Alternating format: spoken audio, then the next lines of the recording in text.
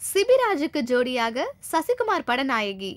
Pass movies பட நிறுவனம் சார்பில் விஜய் கே. செல்லையா தயாரிக்கும் புதிய படத்தில் கதாநாயகனாக சிபிராஜ் நடிக்க அவருக்கு ஜோடியாக வெற்றிவேல் கிடாரி படங்களில் சசிகுமாருக்கு ஜோடியாக நடித்த நிக்கிலா நடிக்கிறார்.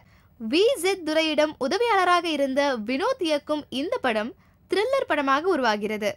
இதுவரை நடித்த படங்களில் கிராமத்து பெண்ணாக நடித்த நிக்கிலா இந்த படத்தின் மூலம் நகர கலாச்சாரத்தில் வாழக்கூடிய பெண் கதாபாத்திரத்தில் நடிக்கிறாராம். படத்தில் எனக்கு கதாநாயகனுக்கு இணையான வேடம் என்று தெரிவித்திருக்கிறார் நிக்கிலா.